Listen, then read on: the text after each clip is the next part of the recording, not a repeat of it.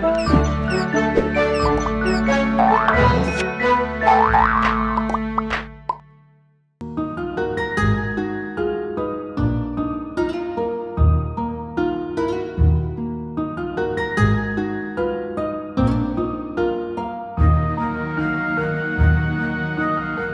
Punya wajah cantik berkat operasi plastik rupanya tidak selalu berbuah manis bagi Nita Talia.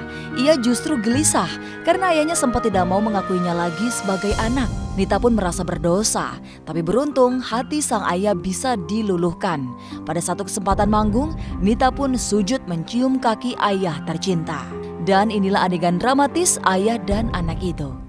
Saya mau sujud di kaki bapak saya. Soalnya kalau setiap ketemu dia saya pengennya tuh sujud, sungkem gitu kan.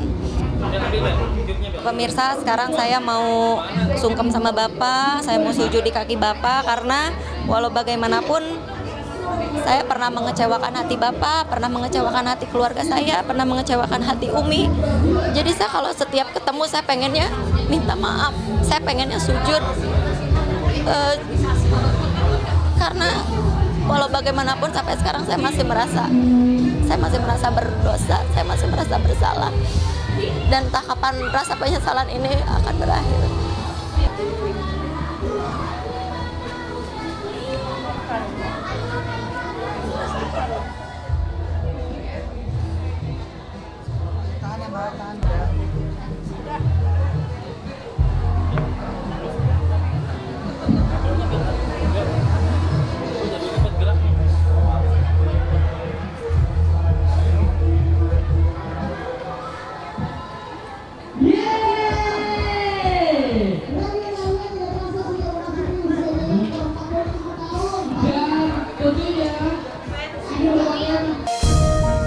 Ajaib, Kezia Karamoy selamat dari kematian.